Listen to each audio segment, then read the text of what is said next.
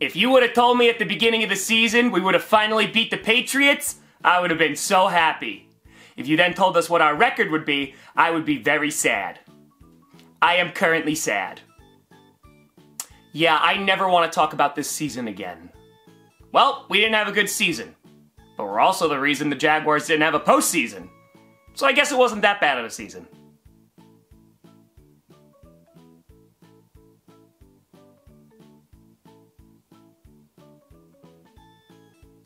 Remember when I sat here last year and thought, okay, that was rock bottom, everything's gonna get better now? We went lower. I just want to say that those couple of months that we didn't know if we had a franchise QB or not were really hard. So, we earned this. We won the division and are hosting a playoff game for the first time at Ford Field in which Matthew Stafford is playing against us. Oh crap, is the NFL actually scripted? What was good about this season? That Josh Dobbs thing was pretty cool for a while. Other than that, absolutely nothing. Well, it was past midnight and Arthur Smith turned into a pumpkin, so goodbye. Can we get a real freaking coach around here now?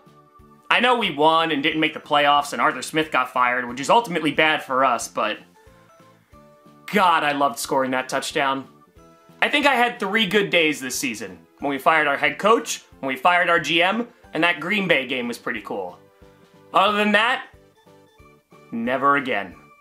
From being written off to the two seed. Buffalo all the way this time.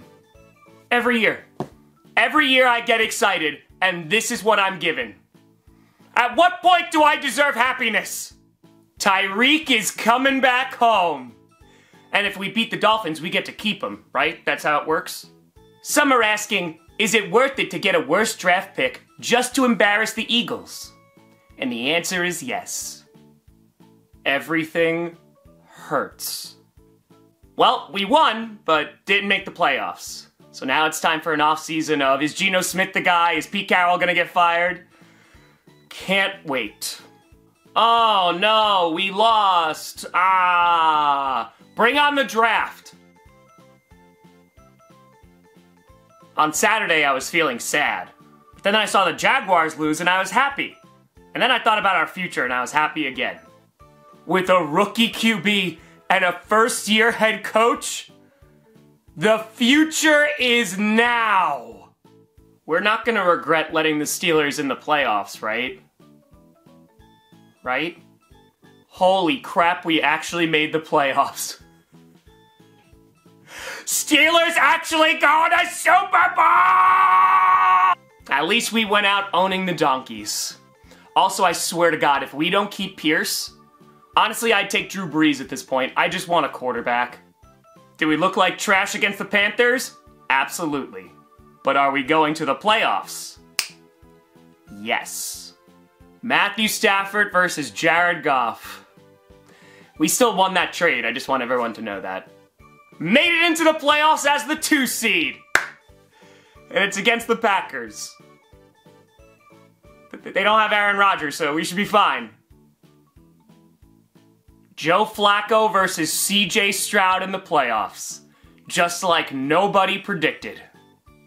What is this wild card round that everyone keeps talking about? The next time we play, Joe Burrow will be back. And then we will have our revenge.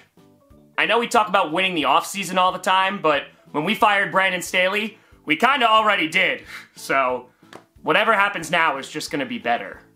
Goodbye, Ron Rivera, and hello, offseason. Also, we hired Bob Myers. Honestly, I don't care if we hire Ted Lasso. Anybody who's gonna fix the team. Pain.